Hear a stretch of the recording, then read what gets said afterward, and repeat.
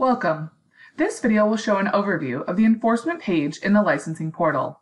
To start, log in to the licensing portal. Locate the Enforcements tab in the left column. Click on it to open the page. The Enforcements page opens and all related enforcements will appear here. The first column displays the enforcement number with a link to the enforcement detail page. We will explore this page more in a moment. The second column shows the description for the enforcement case. Next, we have the status that the enforcement is in. In the following column, you'll see the date that the facility was notified about the enforcement. Following that, the hearing request deadline column lists the deadline for requesting a hearing, if applicable.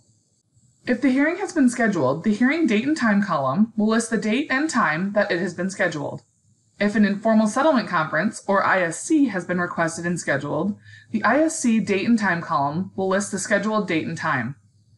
The upper right corner will show the number of records that can be found on the page. Returning to the enforcement number column, click on the enforcement number to drill into the enforcement details. The enforcement detail page appears and shows similar information in the top section as was shown on the enforcements page the enforcement number, status, date notified, hearing request deadline, hearing date and time, ISC date and time, and description fields will all appear as they did on the previous page. The hearing status will show the status of the hearing, if applicable, and will default to not requested. The hearing case number will be populated with the case number, if applicable. Click the paperclip icon in the Related Files section to view any files that ADHS has attached to the enforcement case.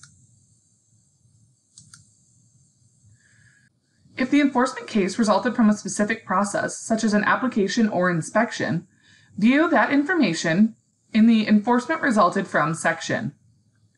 In the bottom section of the page, view the enforcement actions associated with the enforcement case. The description of each case action is also a link to the action detail page. We will explore more on that in a moment. The status shows the status of that specific case action. The total amount will show the total amount due if the action is a civil penalty with a monetary fine. The start, end, and completed dates will all be filled in as needed, depending on the type of case action. If the enforcement has not been finalized and a hearing has been requested, this button will turn from Request Hearing to Request ISC. Click the Request ISC button to request an informal settlement conference for this enforcement. Fill in any required information on the associated pop-out and save to request an ISC. Returning to the actions associated with the case, click on the description link to open the detail page. The action detail page will appear. The top section will show similar information to the previous page, View any related files that ADHS has uploaded for this specific action in the Related Files section. If the case action includes specific action items for your facility, you can view the due date and status of each item below.